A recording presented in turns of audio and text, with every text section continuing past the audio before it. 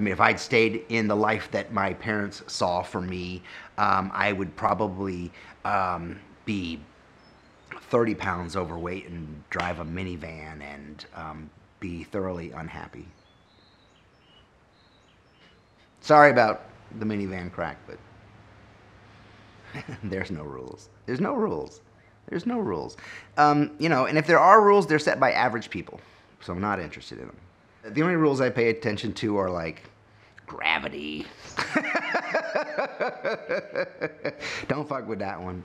There's too many rules and not enough play. You know, play is where all the good stuff is. I often talk about, uh, you know, why such seminal work begins on a bar napkin. And it begins on a bar napkin because you're in a bar. Because you have, you're in an altered state and you're accepting of more mirth. Or you're just goofing. It's not serious. You're not at work. You're not shoving stuff through a grinder. You're playing.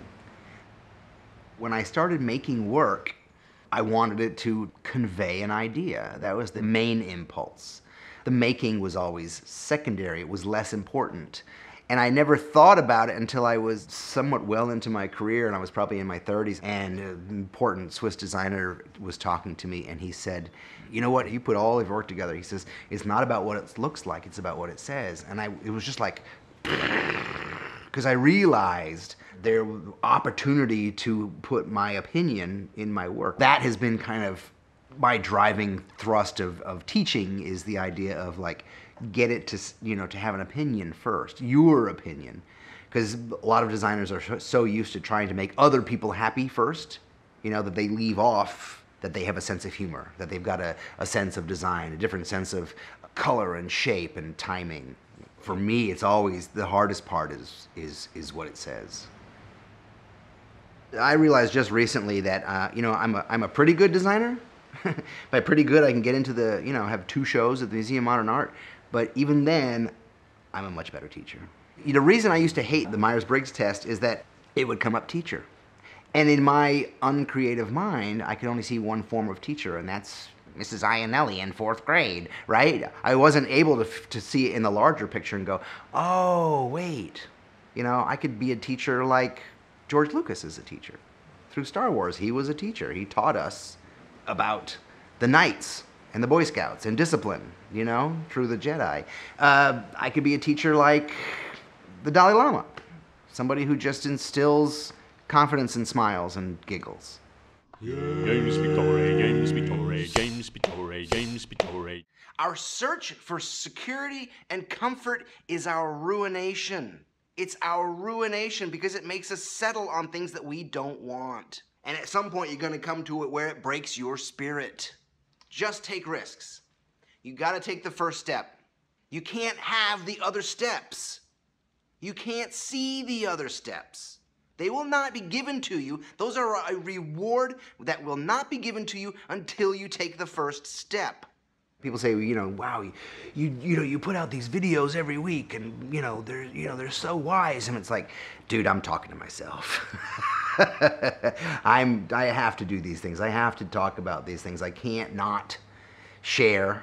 We're talking about dangerous ideas, and they're dangerous because they challenge the status quo. The people that come to the workshop have witnessed a certain level of that. And I take them through basically the struggles and the process that I always go through. And I care deeply for their situations and their problems because their particulars are mine. We all are in the same the same fight. Details are a little bit different. And if I can figure out mine and help them figure out theirs, then we got a party.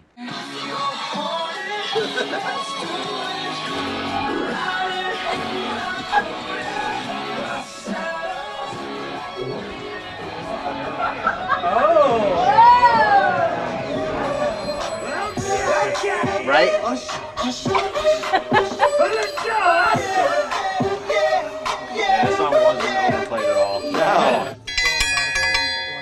Bell. Back to work. Back to work, bro.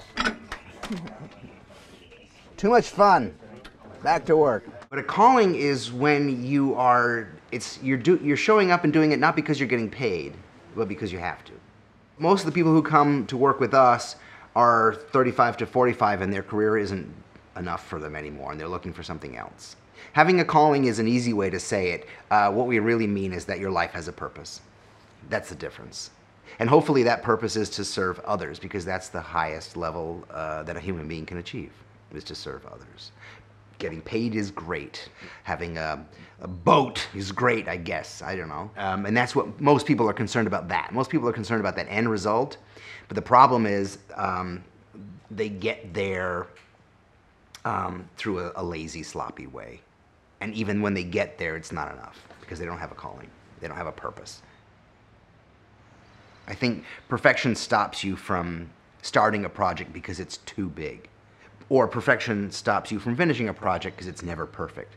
And I think it happened a number of times here when we got down to the physical making of stuff. People were drawing something 16, 17 times, and I had to stop them and say, okay, which one is the first one you did? And they said that one. I said, okay, just let's just use that one. Because you're making these decisions now. You're making aesthetic decisions that don't matter. This one you weren't thinking, but now this is all just too much thinking. It's just how it works. And you know, when people come to work with us, we have to let them understand that this is awesome. This you you know, you're not lost. You're searching that's the process. If you want to be born again, it's going to take some squishing and some uncomfortableness. That's why people go to yoga class to be pushed uh, into tighter balls every couple of days and then to realize all they have to do is breathe and relax into it and all of a sudden they can get into even tighter positions. that's the struggle. That's the part. That's, you know, that's just what it is. If you're really living fully, you're facing your fear every day. You're pushing new avenues for your work. That's all part of pain and struggle. You know, the Buddha's first tenet is life is suffering. But when you start to understand that, when you start to understand that the pain and the struggle is part of the process, then it's okay again, I'm a motorcycle fan. There's there's guys who I who I know who every time I see them, they got like a busted this or a busted foot or a busted, you know, or they you know take their shirt off and it's just all scarred up, and it's like that's part of the process. That's how it works. You want to ride motocross and not fall down? We have to accept that. Most people shy away from it. Most people say, easy for you to say, or, oh, that's easier said than done. It's just because they don't want to enter that cave because they're afraid of what they'll find you know, the only way out is through. I mean, you can't, if you don't face these things, they're just going to stick around. And why, then you've wasted your time coming here. We only get one shot, and, you know, at the end of the line, you're not going to be concerned about how much money you made.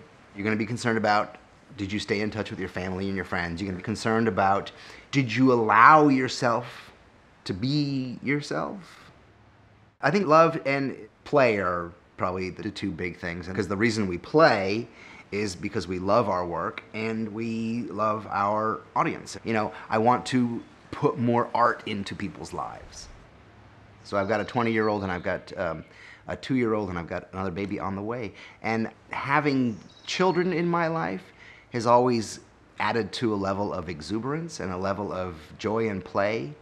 I have an amazing wife and partner who allows me to take chances and who is in it for the adventure. Um, and I think a lot of people don't have that, and that makes it really hard. That makes it incredibly hard to move forward if you don't have a team. So I think love is a, love plays a, a huge role in, uh, and I, and it's funny because I haven't I haven't had that thought uh, in a, in a long time or or ever thought about that aspect of it. Thank you.